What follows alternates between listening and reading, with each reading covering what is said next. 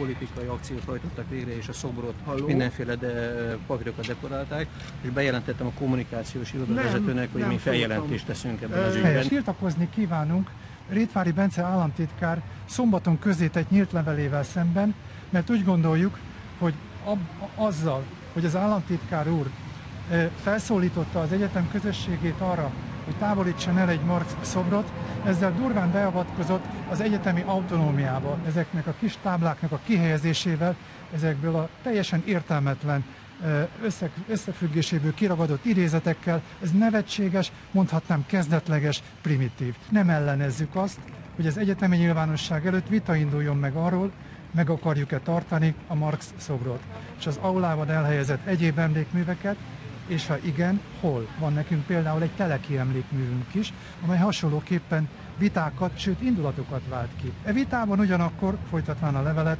csak is az egyetem polgárainak van tanácskozási és szavazati joguk. El a kezekkel az egyetemünktől.